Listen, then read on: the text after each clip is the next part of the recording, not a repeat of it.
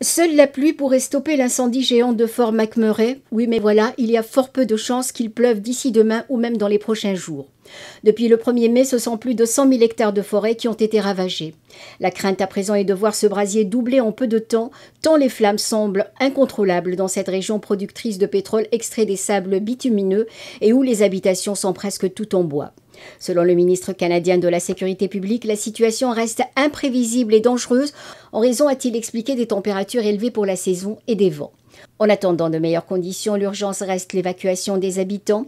Plusieurs milliers de personnes ont pu être emmenées en lieu sûr, mais des milliers d'autres sont toujours en attente. Une opération qui s'est avérée difficile et périlleuse aussi. Depuis plusieurs jours, plus de 1000 pompiers se débattent sur le terrain avec 49 foyers différents, dont 7 hors de contrôle.